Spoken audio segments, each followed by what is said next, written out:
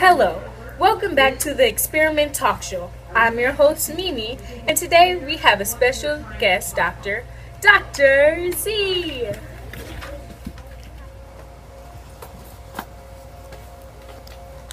Hello, I'm Dr. Z, and I'm here to talk about an experiment I've been working on about mem- memory. Hmm. So, Dr. Z, why don't you tell us exactly what your experiment is? Well, I tested that if you study for a test while listening to a certain playlist of music, and then listen to that music while you're taking the test, then it will increase your score because it will be easier to memorize. Wow, that sounds really interesting.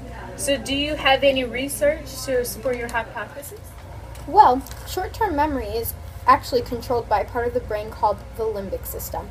The limbic system is composed of many things, such as the hippocampus, the amygdala, the cingulate gyrus, the thymulus, the hypothymulus, and the ip- um, along with other organs. And when you listen to music, it involves using your hippocampus, which, as mentioned, is part of the limbic system. This means that music is indeed related to memory. memory. Oh, I had no idea. So, how go. Ooh. So, how can you go over how you tested this statement? So, the first part of my experiment starts off with the person memorizing um, a certain thing of cards by listening to a certain song. Then they flip the cards over and they try to write down as many numbers as they can remember while listening to that exact same song. They have the exact same amount of time that they had to memorize. Then, after, we repeat the same steps as before, memorizing, without the music, and I give them the exact same amount of time, and but a different test, so a different set of cards. Then, again, they do the same as they did in the second half of the other test, which was pretty much flipping the cards over and memorizing. Again, I give them the same amount of time. So, now, do you mind showing the results of your experiment? Oh, of course. So, my hypothesis was supported for the most part. Um, so, two out of three of my test subjects got a better score on the test while listening to music than the other. But um, I have a couple graphs here, as you can see. This one was from the first experiment. As you can see, test subject number one and two did had 100% on theirs, as test number subject number three didn't do as well. And then my second test, um, test subject number one still did pretty well, but not 100%. Test subject number two didn't do so well. And test subject number three still didn't get 100%, but did do better on the second test than in the first one. So, um, That's really interesting. Why do you think that is? Like, what do you think affected that one test subject? To be honest, I'm not 100% sure. However, I feel like it has something to do with the methods that they use to memorize.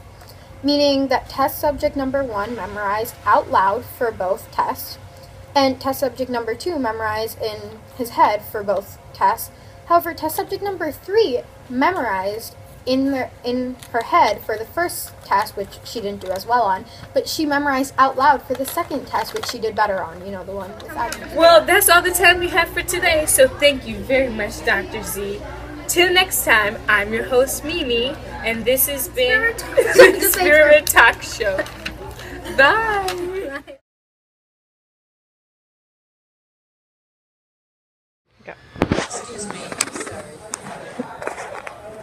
Tell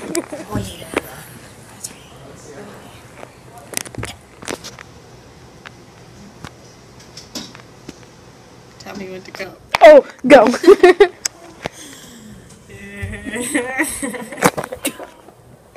You want to start now? Should I keep going? yeah. Maybe. Say may. Why are you laughing? No, I don't like being Hey, hey. Okay, go.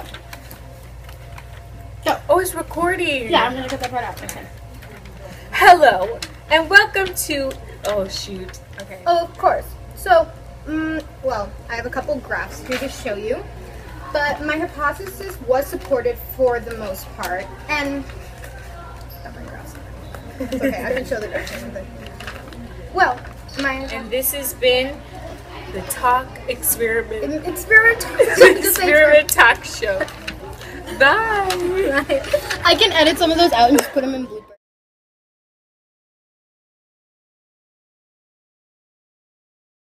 I would like to thank Mr. K for helping me with this project and not letting me give up on it. And since this is my last video assignment, I would love to thank my friends for bringing out my creative side and helping me with this video and all the ones that came before. Enough of this!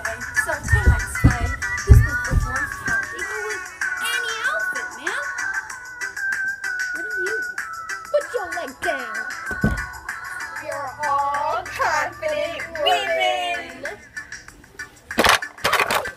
Who needs bees when you got JSCs? Warning. The sound you are about to witness may cause death, lung cancer, spilled water, and broken glass. Your discretion